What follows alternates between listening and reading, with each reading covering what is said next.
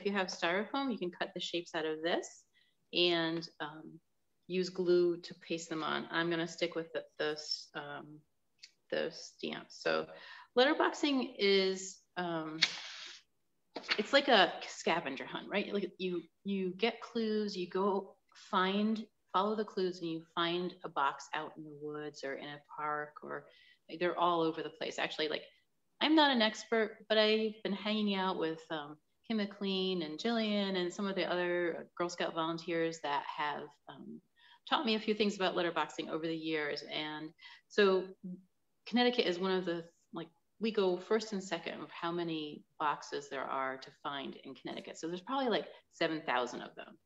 You'd never know it unless you go um, go to the website to find the clues. So you get the clues, you go find the box, um, you take your personal stamp and you say, I was here by taking your stamp and stamping it in the book that's in the box. And you take the stamp that's in the box and you put it in your book and you hide everything back where it was and you go off. So um, you can do it any place. Our Connecticut State Forests have letter boxes in them. It's always good to check the clues before you go there. Um, anytime, just to make sure that um, nobody's made a comment like they couldn't find it. Um, what else? So, okay, so let's make a make a, a beginner letterbox stamp. Okay.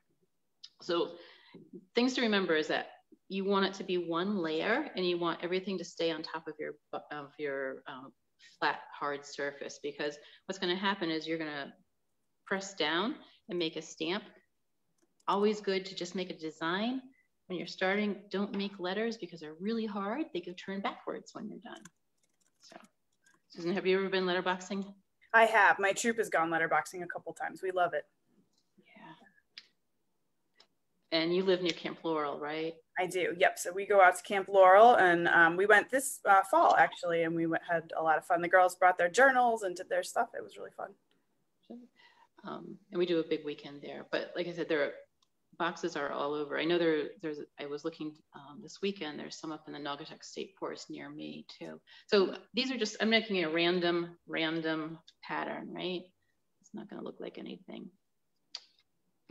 I know um, sometimes the Girl Scout camps do like um, a theme when you go out and the boxes are all with a theme and that's kind of fun. Oh yeah, that's true. Here at Ansiox, the girls who carved um, carved the boxes loved Harry Potter. Mm. So they're all Harry Potter, Potter themed. Um, but I know that they're going to be making, um, they told me they're working on something else. Oh, they're actually, they're actually graduating from high school, probably going off to college next year. So. I'm gonna have to come do the Harry Potter ones before they take them away. I didn't know. yeah, I know, right? um, anyway, so you make a pile, you uh, make a, a design. This is my abstract letterboxing stamp. Um, when you go letterboxing, you find a box. Usually it's a carved one, either a store bought or a handmade one. And so when you're carving, you use a very solid piece like this. It's you can use a rubber a rubber eraser or you can buy the carving material. You draw your design and then you use a gouging tool, which is pretty sharp, always away from you. Um, carve away from you. you. You make your design. So like this is what mine looks like. Um, my camp name is Acorn. So I did an acorn. It's actually our state tree too, the white oak. A little bit of information. So I've got my beginner stamp and what I'm gonna do is just ink it up. It doesn't matter what size ink pad you have and it doesn't matter what size, what color your um, shapes are because they're all gonna be whatever color your ink is. So I'm just gonna ink up my pad. Okay. So another thing to do is test it to make sure that your everything's working. So I'm gonna put it on my paper, press down, and there's my design, right? That's great. So that's the really super quick way of how to make a letterbox um, boxing kit. The other thing that you would need is a couple pieces of paper folded over. We use these little log books at Girl Scouts to start. It's a good idea to give your letterboxing stamp a blanket because they get messy. So, and then for us, what we tend to do is just put everything into a Ziploc bag. Um, it just makes it easier to carry. So my, I'm bringing my, my stamp and my ink pad, and I'm bringing my logbook. And I think that's it. Um, I'll show you what a letter, this is what we're looking for. Some, um, this is a little bit bigger than usual. If you're ever gonna make a letterbox, it's great to use these things that have a little rubber gasket because they snap shut and keep the moisture out. Inside, there's gonna be like a little logbook. We usually put them inside a bag. Um, it's good etiquette to bring extra bags so and things so that you can repair about um, anything that's wet or broken. At Girl Scout camp, we usually have an ink pad inside it.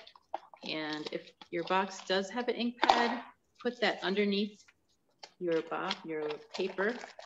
Even though it's in a bag, if something happens and the seal is broken, your, your logbook is gonna be above the water if it ever gets wet. And then inside the box that you're finding will have a little stamp. That's what I made this morning. So this is the type of thing we're looking for. If you're if you ever want to do a series of letter boxes and you want to plant them on someone's property, you need to ask permission, right? So we, we, we're Girl Scouts, we love the outdoors, and anybody should be following Leave No Trace. And you might think, well, how is leaving a box in the woods leave no trace? You always get permission, um, and you leave it just off the side of the trail. Um, you, when you're going looking for them, you wouldn't, if you're in a, your whole family's going out, you're not going to send everybody out to go find um, the box, send one or two people um, so that we're not trampling everything.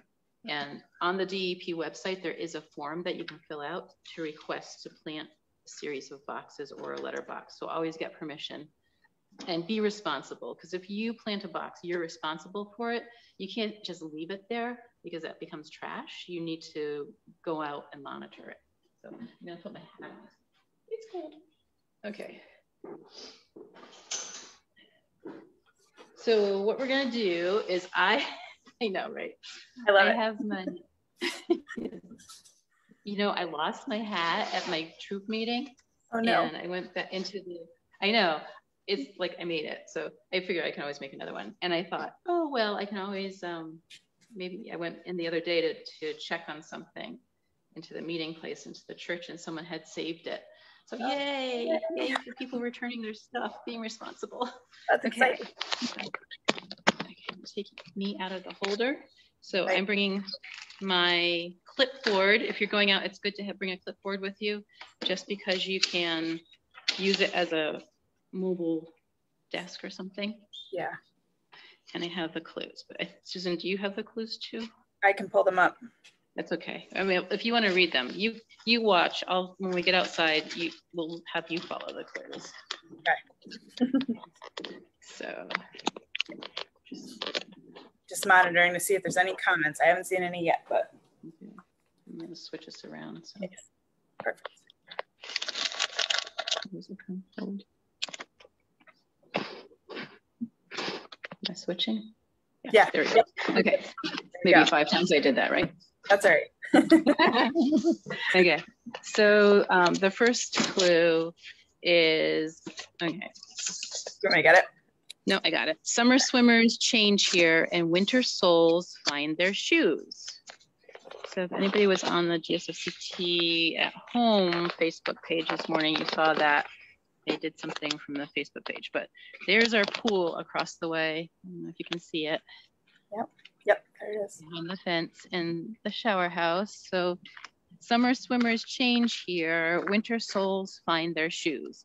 Letterboxing clues can either be like riddles or poems, or they can be very direct, like go 15 paces and turn to 30 degrees.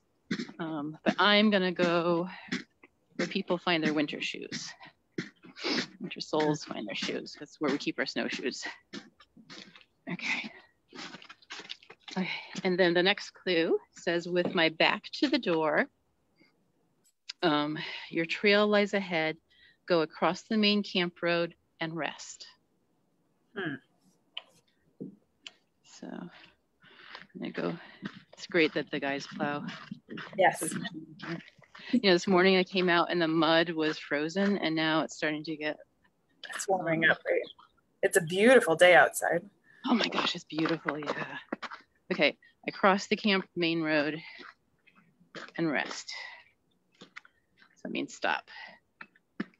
Um, it's our cook shelter. Take 19 paces down the path to meet the twin sister tree. So a pace is like two steps. So I'm going to count every time my right foot hits the ground.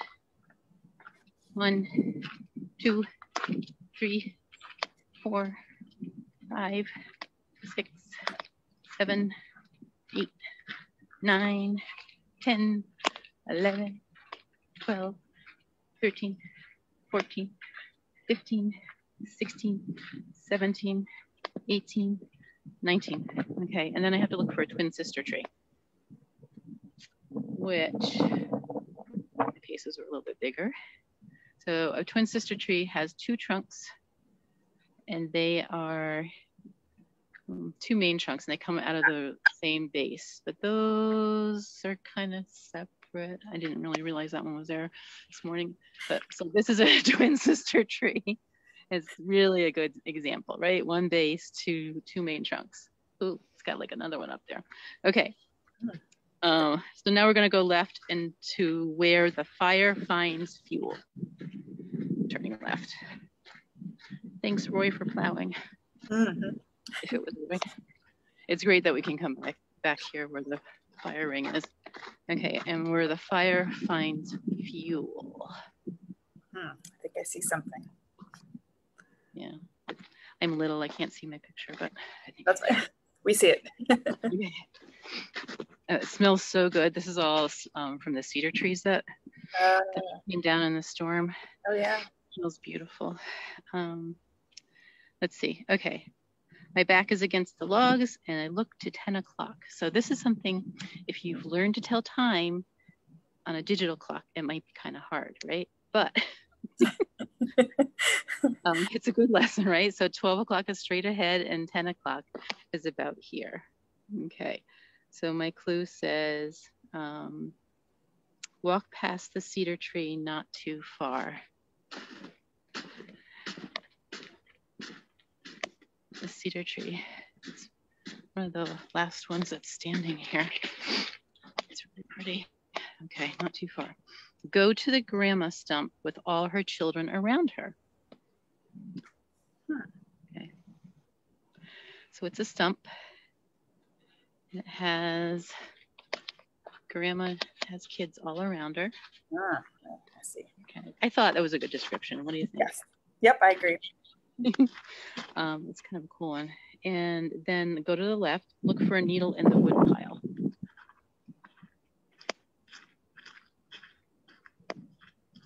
So I, I love it when people find things like that and they kind of display them, right? yep. it's unusual. I have a I have a, mm, a skeleton of a bush in my woods that I put up on a stump because it's beautiful. and so then one of the things about letterboxing is that if you're hiding a letterbox, you don't want to hide it under uh, inside a wood. Uh, you want someplace safe, right? Not inside a stone wall because stone walls are pretty special to Connecticut, and you don't want to just wreck them looking for things. See inside. There's a box. So again, inside, what we would do is open it up. It's like frozen it's a different way. Sorry. And inside you find what we looked at before. It has a little, it has a little book. It's got the smiley face and another ink pad. So when you're done, it's important to make sure that everything gets back inside the box right? We're going to pretend because my hand is cold that we were um, that we would take my stamp and I put it in the in the box, the book that's in the box, and I would take the stamp in the box and I would put it in my into the letterboxing thing. So like I say, it's when the snow's not on the ground, you know, even on a winter day, this is a good thing to do. Um, and you, if you get into the carving part of it, if you love the art, you really are into that, winter's a great time to do that to get ready for the spring or the late winter. Um, the other part of it is making sure that you hide the the box just where you found it or where better yet where the clue says it's supposed to be so i'm just gonna do this so people who letterbox a lot can see a pile of sticks and they know right away what's going on yep yep um, Nicole just said you're the letterboxing expert. So no, yeah, no, I am not the expert, but I enjoy it and I had fun doing it. So, um, yeah, so that's it. So I'm gonna head back inside the building. That's fun. Yeah, it's has Nicole, Go ahead. It's so. I was just gonna say, has no Nicole ever been letterboxing? I don't know, Nicole. Have you ever been letterboxing? Let's ask her. Mm-hmm. See, looking for comments. Yeah. It's really, oops, I dropped my box. Mm-hmm. But um, we also have other winter stuff we do at camp, right? Like winter sports and. Oh yeah, yeah. So the the snowshoes, I can here. I'll go back and just peek at the snowshoes too. So since we have it open, right? Since we're here. Um, if you missed it this morning. So yeah, I mean, you can go. You can some places you can go sledding. You can always go for a hike. You can have a campfire. You can come out and watch the night sky. It's chilly, but it's a great place. We have, I think it was last weekend, the weekend before, we had girls that were sleeping out um, in their own tents, you know, for, because of COVID, our friend They're COVID. yeah. um, Nicole says she has not been letterboxing, but she hopes to in the spring. So we'll have to break. Ah, okay. So these are just inside. Um, these are the where the snowshoes are. We have snowshoes at in Stamford, camp in Stamford, New Fairfield, Candlewood, Rocky Craig and Stamford, Candlewood and New, in New Fairfield, um, Ansiox in Oxford, Laurel in Lebanon, and Yankee Trails in um, Tolland, Connecticut. So kind of spread out around the world and our troops come, members come and just reserve them and have a good time So they're just waiting, waiting for some feet. Some Girl Scouts to come check them out. Yeah. Yeah. Yeah, so next weekend, I mean, things to do at camp. Next weekend, um, Kim, who and her husband, Star Dad, Jeff, are doing the, um, they're doing an, a space exploration because I guess it's the time when you can of the day where you can see both the sun and the moon. So that's what they're going to be doing at the camp next weekend. It's getting a little windy. Yeah, storm is, is coming, right? I know Regina had said she was looking forward to coming snowshoeing tomorrow, but with a storm, hmm. they're not going to do it. Okay, so I'm headed back Bummer. into okay. the lodge. Yeah. Toasty warm. the heat's on. the heat is on. Yeah, yeah. A lot of time spent here. So, okay. And that is pretty much it. So letterboxing, my tips would be if you can come to one, a letterboxing event that we have for Girl Scouts. If you're not a Girl Scout, you can come visit us if you want and try it. Um, start easy. Make a make a stamp. You can always change it. Um, you might want to get a trail name. Like since my camp name was Acorn, I thought Acorn was a good trail name. Make sure that you leave no trace. We don't want people trashing the woods um, and leaving things there and trampling to go in and out to get the letter boxes and really just enjoy it.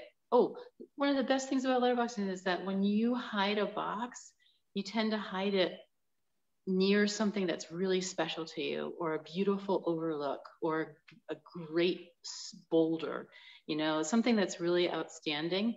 So letterboxers tend to hide them in interesting places like that. So if you've always been hiking a certain trail and you haven't looked at the letterboxing you looked at it from a letterboxing point of view you might have missed some really cool spaces so um, like I said, the DEP website has information about the letterboxes in their state forests. And then the two, um, in the document that we had for Girl Scouts on the DEP website shows um, atlasquest.com and letterboxing.org are two of the best places to find clues um, for letterboxes in in America, probably.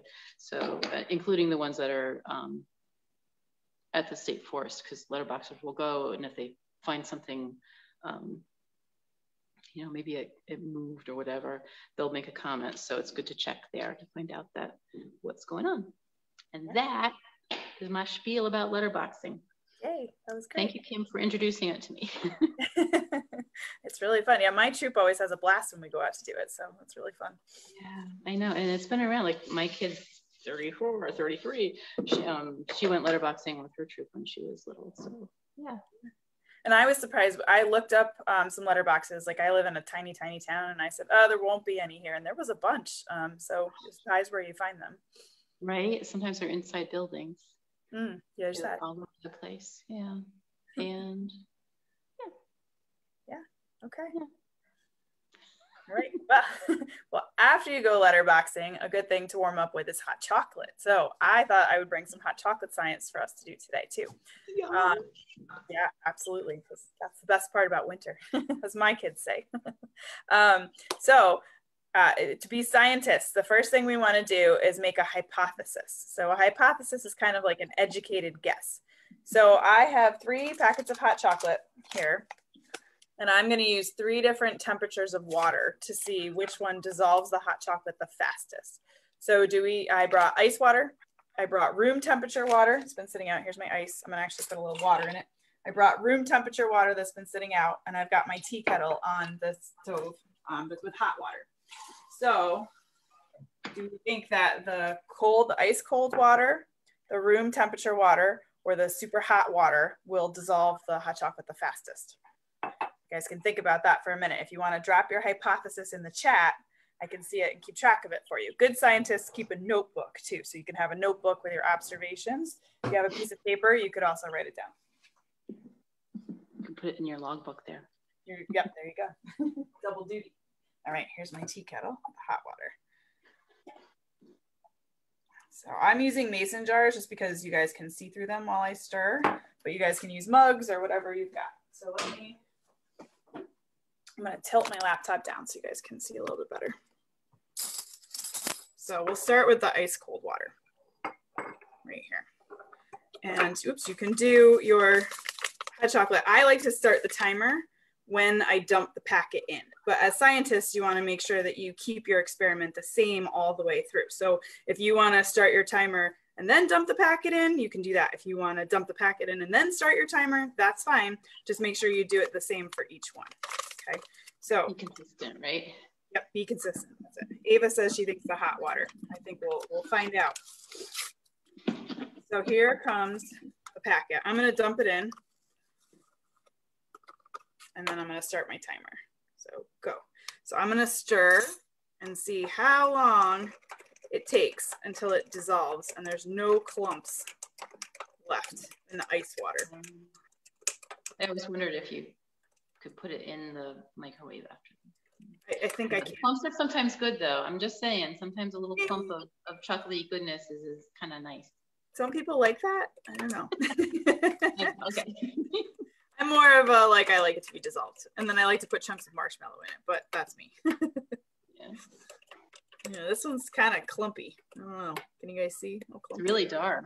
It's dark and it's clumpy. Yeah. I mean, no, it, I can see it. It's very chocolatey oh, looking. Chocolatey. That's what I was like. I could flip on the light if we can't see it as well, but. Mm-hmm. Still stirring. We got all these big see, clumps. Yeah. It's like, like when I lick this spoon.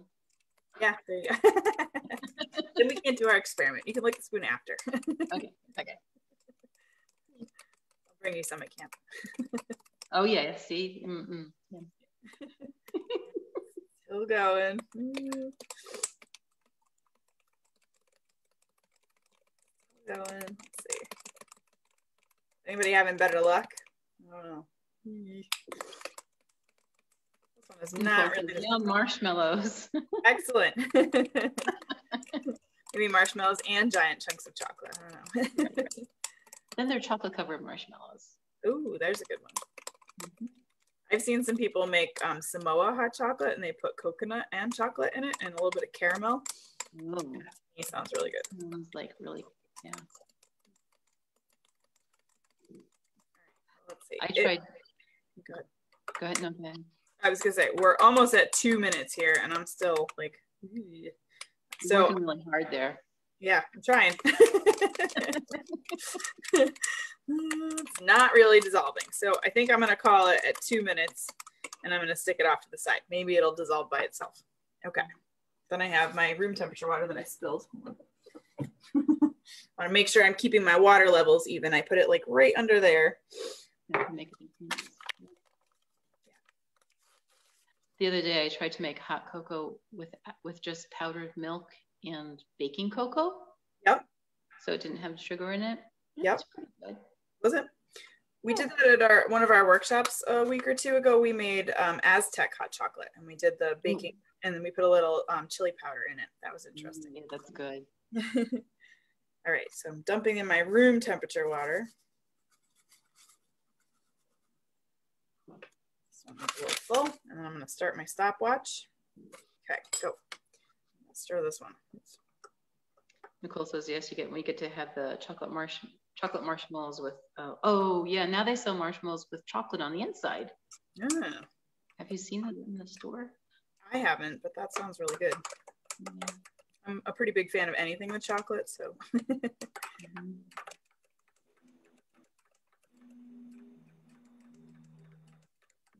My dad was a chemist, and in the labs, they when something had to be stirred for a long time, they have these magnets that were like an oval shape and they were coated with plastic and it went inside the solution inside the container right? So it'd go down to would sink to the bottom. And then underneath the container the glass container they would have a metal i don't know if i don't know if it was magnetized or what but it would spin around on the bottom and that would spin the magnet inside the beaker or the contain the flask and it would keep the solution stirred. so interesting. Hmm. we only got to go in once or twice a once a year. Sometimes it was very top secret. Okay, hmm. interesting. Maybe he'll have to help us get some cool stuff for the lab. All right. Does it look like it's working? Is, is there any difference between that and the cold water? Yep, this one looks like it's stirring better. So I don't have as many clumps on the top. It's a little yeah. bit. So I would say it's floating. Yeah, I would say it's still not dissolved completely, but it's definitely better than the other one. It's more liquidy. All right, so that was a minute and 45 seconds on this one. That was better. We're getting better. Yep. All right. The hot water. Let's see. Reset my stopwatch. Oops. Timer, stopwatch, reset. Okay. Now let's try the hot water.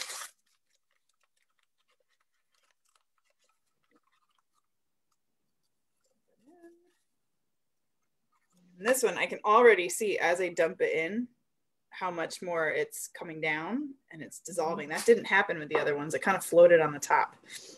So I'm gonna hit go. I'm gonna stir.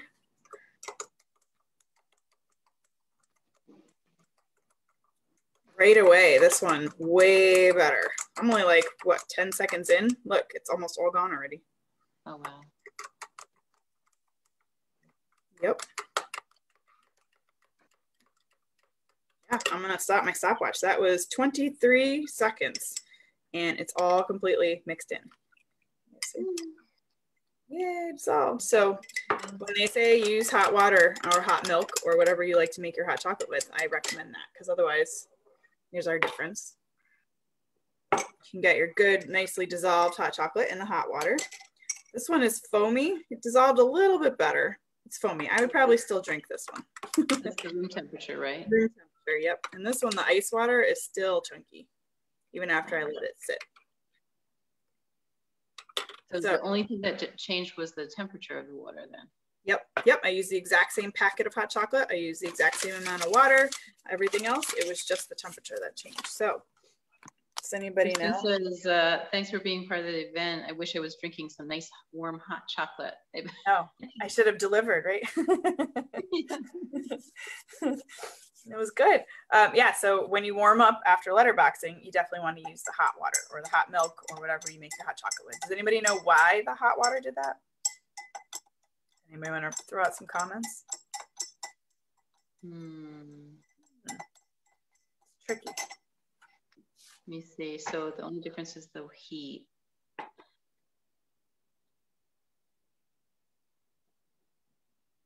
trying to think of things that I've done before with hot water that um, that melt things. Like I used to have little sponge. Do you ever have those little sponge shapes?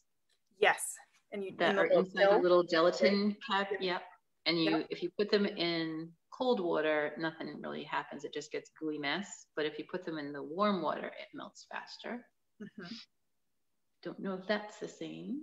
Mm. And what else? Yeah. Suppose if I put hot water over ice, that melts it. Yes, it does. That is true. or snow or any of that kind of good stuff. yeah. Don't you wish sometimes that you could just shovel your driveway that way, just like splash hot water on it and make it go away? Yep, I do. That would be brilliant. Maybe somebody will invent something like that. I don't know. Right, like a, heat, a water heater for your hose. Not, probably not a good way to do use water though. I saw a guy go out with a flamethrower once. I think that was also not a good idea. So. yeah, I did see that sometimes but science is there, so melting things. So when you guys put um, the hot water on the stove, the heat is putting more energy into the water, and so the water starts to boil because it has so much energy in it. And that extra energy that we put in with the heat is what helps to dissolve our solution because that extra energy makes the particles of the solution go faster and faster and faster, and then they dissolve quicker in the solution. So that's why hot water helps to dissolve it quicker there's our science for the day. and now the best part of the science experiment is the taste test afterwards. So I highly recommend either popping some marshmallows in or candy cane. My kids really like candy canes in their hot chocolate or whatever you want, and then taking a taste test. Nicole said, depending on the temperature outside, you could freeze the hot water and just have an icy mess instead of just snow. yeah. True story because it's actually a scientific thing too that the hot water will freeze faster than the cold water. So that could pose mm-hmm. a problem. Mm-hmm. Right, and clearer. Cool. So yeah, so I'm happy that we did this today. Yes, this was great. I got to come to camp, which I always appreciate. Yeah. And yeah, I made another letterboxing kit and I'm good. Excellent. And now we'll have yeah. some hot chocolate and call it a day thanks to the DEEP for having us. And Kristen, thanks for having us. This was fun. Um, yeah. Yeah. You good? Bye, guys. Bye, guys.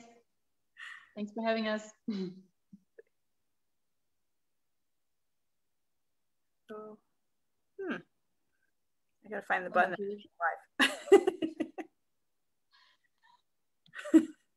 Maybe we're still connected. Don't know what's happening. Where's the button? Let's see. Live on Facebook. Stop live stream. Bye, guys.